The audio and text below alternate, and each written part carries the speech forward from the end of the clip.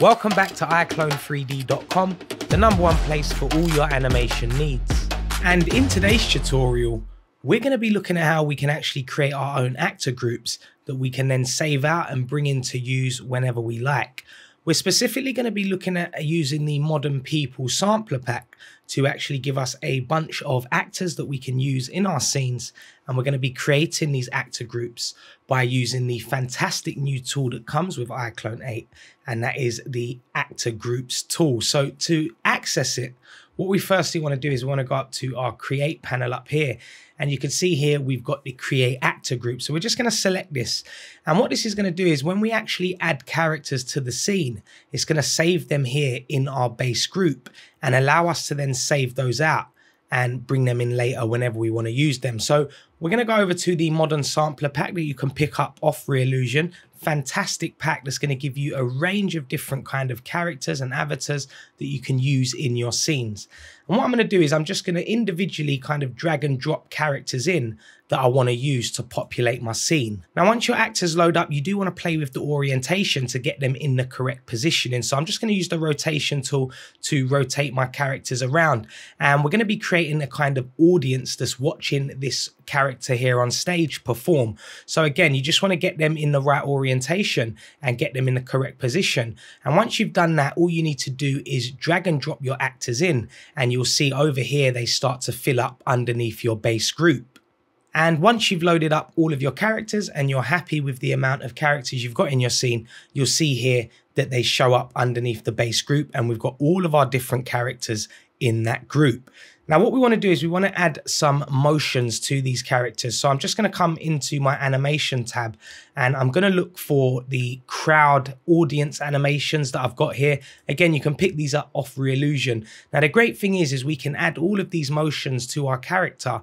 And when we save it out, they'll come back in with our group. So when you bring your group back in, they'll have all of the motions that you place on them. So I'm just going to add the character motions by dragging and dropping them on the different characters. And once you've added all of your motions, we can play that back and you can see we've got a really awesome scene in front of us with our audience dancing and cheering our character on stage who's performing.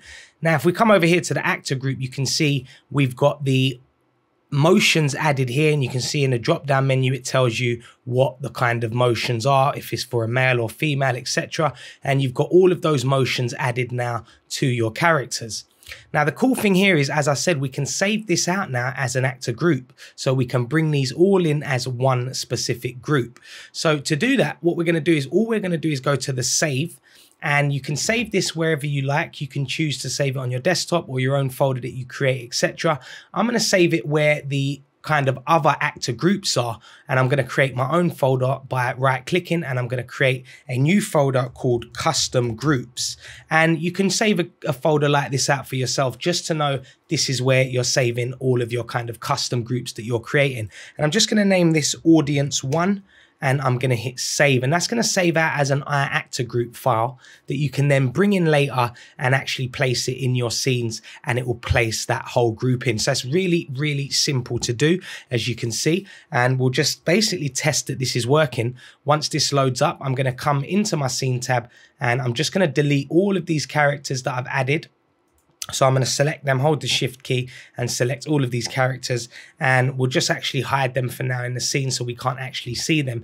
And now I'm going to go back to the beginning of my timeline and what I'm going to do is I'm actually going to go to my actor group folder and here under the custom groups you can see we've got the audience saved out and I'm just going to drag that in and drop it and once that's loaded, you can now see we've got an actor group in our scene that we created. And if we play this back, you can see it comes in with all of the characters and the motion. So really cool, simple way that you can create your own actor groups for any given scenario and load them in once you're ready to use them in different scenes or different scenarios that you see fit. So it's a really cool way to create your own actor groups.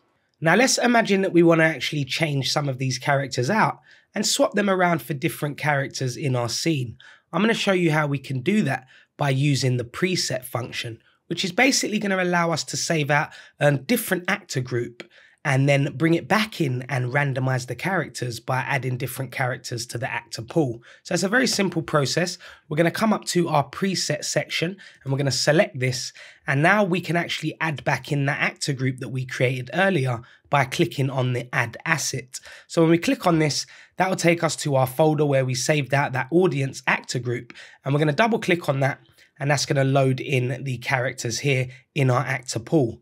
Now what we need to do is we need to go back into our modern people sampler pack and we're just going to basically select a few different characters that we now want to add into the actor pool so we can then randomize them in just a moment. So it's a really simple process. You just want to go through your characters, making sure you don't select the identical characters that we've already got in our audience, of course, and we're just going to select a few of these and then we can drag them and drop them here in our actor pool. And once you've done that, you'll see it will add all of those avatars to your actor pool. And now we can actually save this out as a preset. So I'm going to click save and we're just going to save this as audience preset.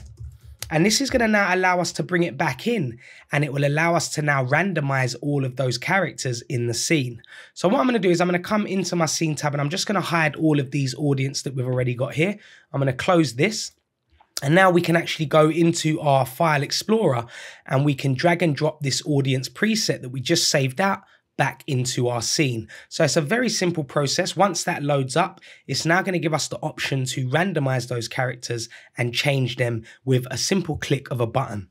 And now you can see it brings those characters back in, but because we added different characters to our actor pool, it's already randomized those for us. Now, if we wanted to randomize them again, we can just come here into our randomize actor group and we can click on this randomize actors and leave the all actors checkmarked. And then we can just click randomize.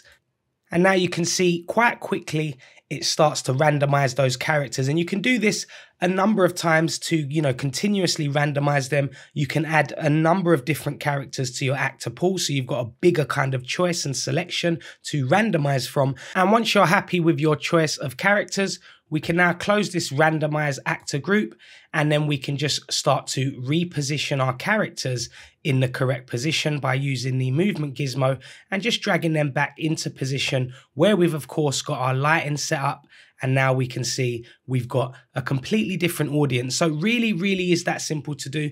And it's just an awesome way that you guys can actually start to create random actor groups and get them working perfectly in your scene. With a few simple steps, you can start to really fill out your scenes with character motion on them and it looks incredible. Now, another really awesome feature is the actor group pack that you can pick up again from the Reallusion website. And what this is going to do is it's just going to allow you to very quick and very simply set up scenes by using some custom preset actor groups that are already created for you, such as two people standing and talking, and you know, a line of characters queuing up to go into a shop, or even just people standing by themselves and kind of playing on a phone, etc. But as you can see here, all you need to do is drag and drop them in your scene, and you can see quite quickly you can start to layer up a scene and get it fill, filled up with characters really quick, really simple, and really easy to use. So it's a really awesome pack that you want to look into also. And it does come with preset motions on the characters. So as you can see, when we play this back, you'll see that the characters we've dragged and dropped in already come in with preset motion. So that's a really awesome pack that's really going to help you set up your scenes really quickly and create crowds of people and fill out your scenes so it can really sell that vision to your audience. So again, another pack that you might want to look at on Reallusion and pick up today so you can really start to create some awesome, awesome scenes. So that really does conclude this tutorial. I really hope it helped and I really hope to see you guys again soon for another tutorial.